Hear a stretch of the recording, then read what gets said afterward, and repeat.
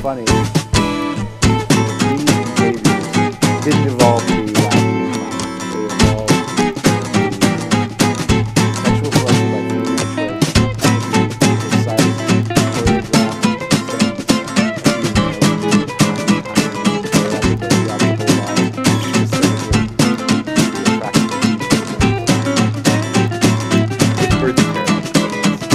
at some level, you could say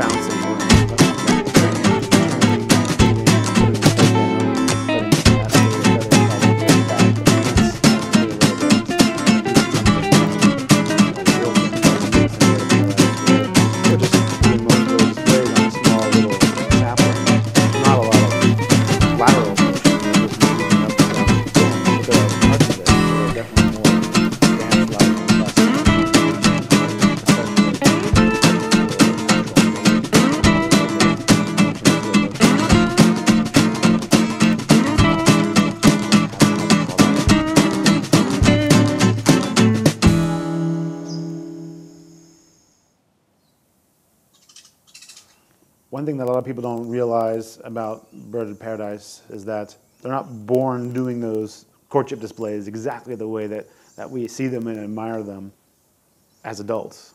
For the first few years of their life, they probably don't do anything that looks like a courtship display at all. And then at some point in time, the young males, they start going through transitions in their bodies and their behaviors where they start doing rudimentary versions of it.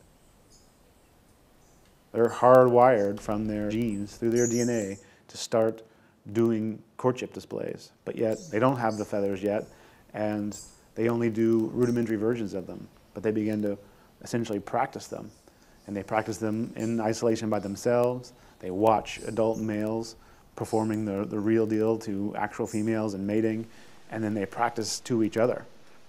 One young male plays the role of the female, and the other one plays the role of the male this one practices his display, and this one pretends like it's watching, and then they switch. And this goes on for hours at a time during the day, for months out of the year, for many years. In many cases, three, four years of this kind of practice behavior. And so only then, when they transition into their first adult plumage, do they start doing this thing that we recognize as the full courtship display. So it's this incredible combination of learning behavior and feedback between practicing with your own body movement and the acquisition of your costume, if you will, and being able to then put those motions into place in the way that they're supposed to be, and the genetics behind it, both the behavior and the feathers. I don't think a lot of people have an appreciation that that's what's going on in these birds.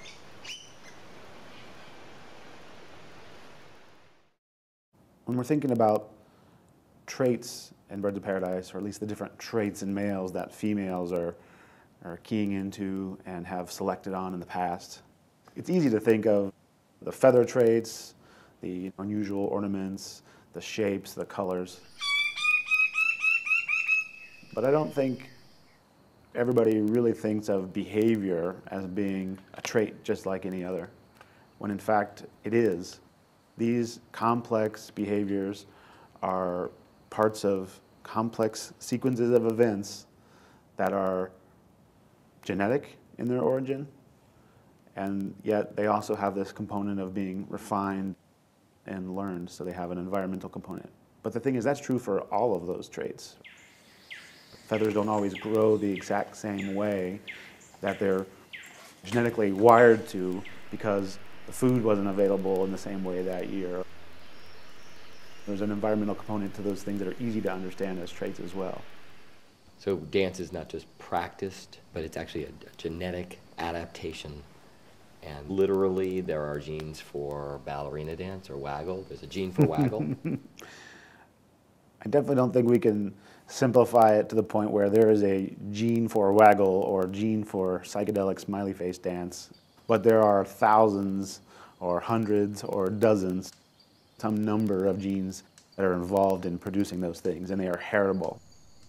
And that when a female bird of paradise selects a male for some component of his display behavior, that his sons inherit that behavior and some component of it, and they will be more likely to be more similar in that behavior to their father than to other males, just like they will be in plumage or, or shape of their feathers.